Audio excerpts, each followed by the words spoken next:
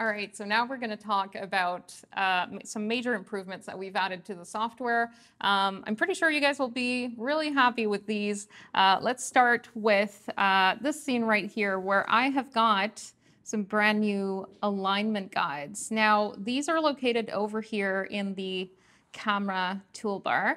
And you've got some vertical ones, some horizontal ones. So all you have to do is really go and select them. And you've got this line over here that you can take, drag around.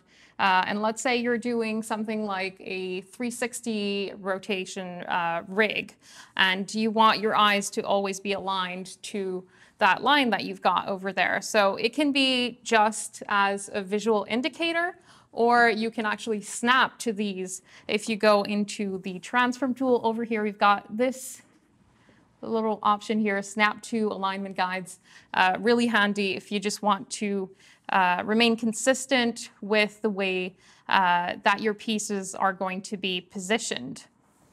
Uh, now, another way that you may want to use this is, let's say if you have a run cycle, again, uh, you would take your alignment guides. You can add as many as you want, really.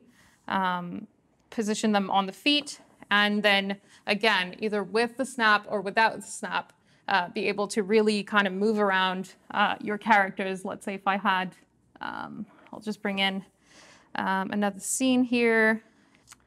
All right, so I've got my characters over here, and I would simply position the feet over here, and then I can take my characters, position them how I want, and again, using the snap, we could take this image over here and go and position it right on the line to make sure that it follows. Now, we've had in the past some uh, different types of markers that we've been using. We had drawing markers, uh, we have timeline uh, little markers that we could have as well in here. Um, so now I'll just go back to the scene I had previously over here. You can see that we have a different type of marker over here that gets added to the mix. Now we can add those really easily by right clicking and this new option here called Mark Frame. Um, now you can choose from a variety of colors to really um, set uh, a marker down on any cell that you want, whether it's on a drawing, on a peg, even on an effect, uh, just to kind of mark it as important. You want to really be able to follow that key. Um, so if you move around a frame, this will follow around. You can then mark your keyframes or various other poses that are important to you so that you really get a visual on the timeline as to where those uh, markers are. Okay, so now we're going to talk a little bit about uh, a new feature in Harmony 17 that is going to be pretty handy for uh, all the cutout animators over there, because let's be honest, sometimes scenes can get a little bit heavy um, especially when there's a lot of characters involved. So let's have a look over here. Um, in this scene, I've got two characters, two builds that are actually pretty heavy because they are uh, 360 rigs over here, and there's a lot of deformers involved. Now, uh, if I wanted to cache these rigs over here, uh, my builds are currently contained inside the groups. I can create a composite over here, and uh, I'm gonna take this opportunity to show you guys a little feature that's gonna be a, a bit of a crowd pleaser for everybody. We can actually press down Alt now and insert a composite between the two wires that you've got over here. Now, with this composite, we can actually just go into the layer properties that we've got over here. And we've got this new option over here called the cached, the cache over here. And we'll just click on that and now you can see above my ports over here, there's now two little uh, blue archways over the ports.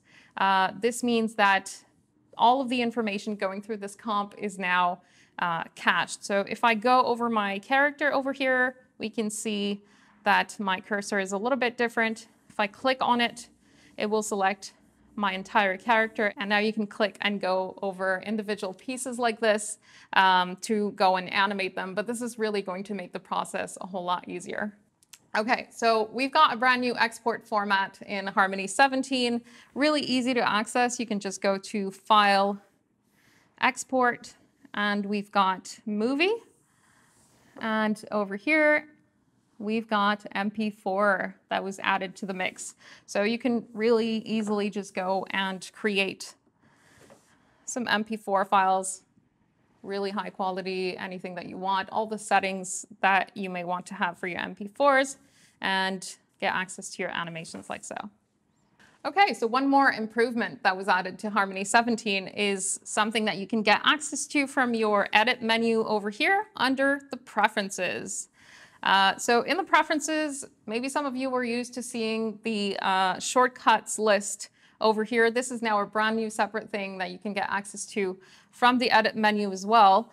Um, but we've got a couple of things over here, notably at the start, preference set basic. And if you go and see the drop down, you have some preference, uh, some preferences templates that you have access to over here. So if you're a rigger, if you are a paperless animator, um, you can choose these different presets. Um, and this will reorganize all of your preferences that you've got in here. So if I'm a rigger, I might want to have access to, let's say, this brand new preference called default pass-through composite uh, or even stop motion keyframes and all of those. So these will remain saved into your preferences over here. You can even uh, save those preferences, reload them uh, if you want to edit them to have certain other features. Okay, so we hope that you've enjoyed these upgraded performance and efficiency features, um, and thank you for watching.